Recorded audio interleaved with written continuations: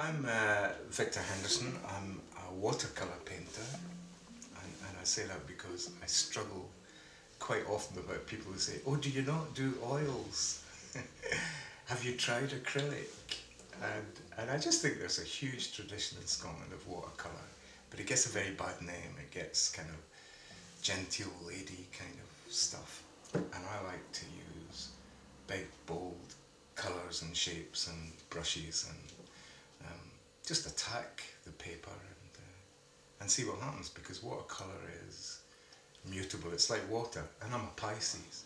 So when I went to secondary school there was one of these old Scottish art teachers, Mary McBride. And all I remember from Mary McBride was, keep it wet! Keep it wet!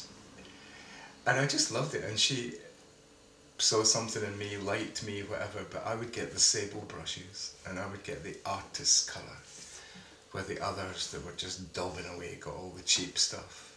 And uh, she was the one who encouraged me to go to art school. And I got accepted for Glasgow School of Art, but I was far too young. I bought a pair of red trousers from Jaeger and never attended a single solitary lecture. and I spent my life in um, health service and psychotherapy and working with nurses and social workers and, and uh, enjoyed that really. I did a wee course down at um, Dumfries and there's a guy there called um, Spurway. He was really encouraging, he looked at my work and said, you should show somebody this. So I'd always passed White House Gallery and thought it looked a bit upmarket. You know, I looked through the window and these two people sitting in there surrounded by all this good stuff and I thought I can't go in there. Anyway, I did go pluck up the courage to go in and, uh, and Rosie and Lynn were there and they were preparing for an exhibition, God help them, and but they gave me some time and Rosie just flung everything kind of on the floor and was going, that's good, that's good. And she was really good at just saying to me, that works, that doesn't. And, uh, and then at the end she said, um, well, we could take seven of these for the next exhibition. And I was absolutely flabbergasted, I can believe that. When I'm working in the studio, I'm not thinking about framing it, I'm not thinking about studios, uh, galleries.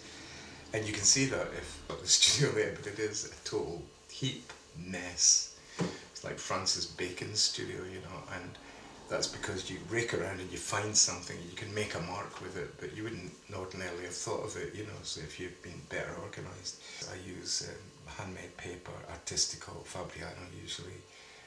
One sheet of that is about £9.50.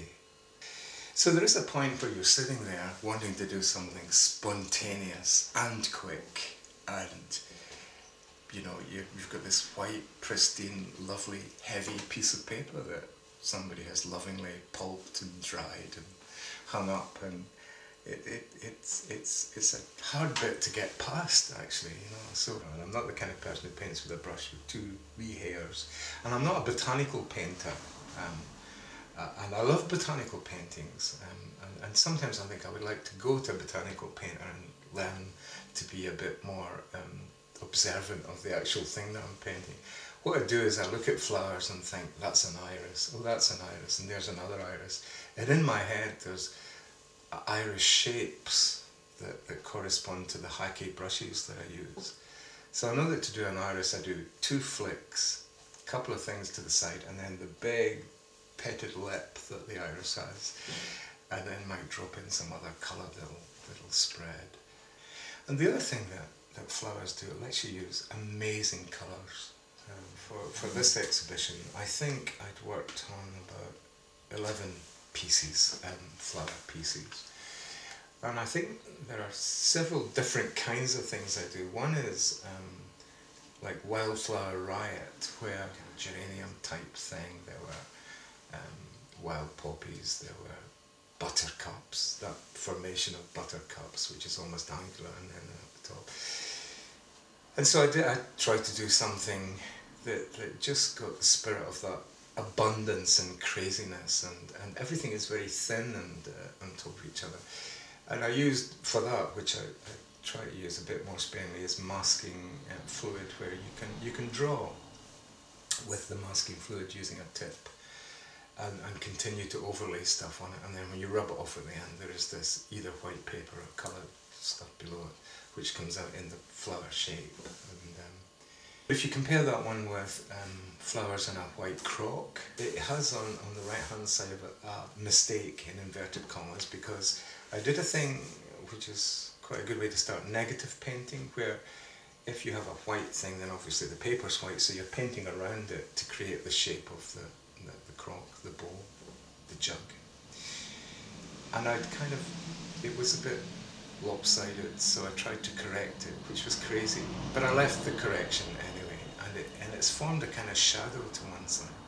A curious odd thing that's happened and it's just one of those accidental things. The first opening, I mean I've been in therapy for years and years. I've taught, I understand the inner life, I understand narcissism. But going to that was the, it was the most difficult thing I've ever done in my life. It's like suddenly saying to people, look at me naked, um, judge me, like my stuff, please. You know.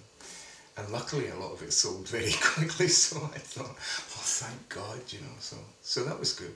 And since then I have been a bit more kind of um, focused in the way that I'm thinking about it. I've got a website and I send stuff off to, to galleries and, not had a, a one-man exhibition yet, but um, have exhibited reasonable places around Scotland.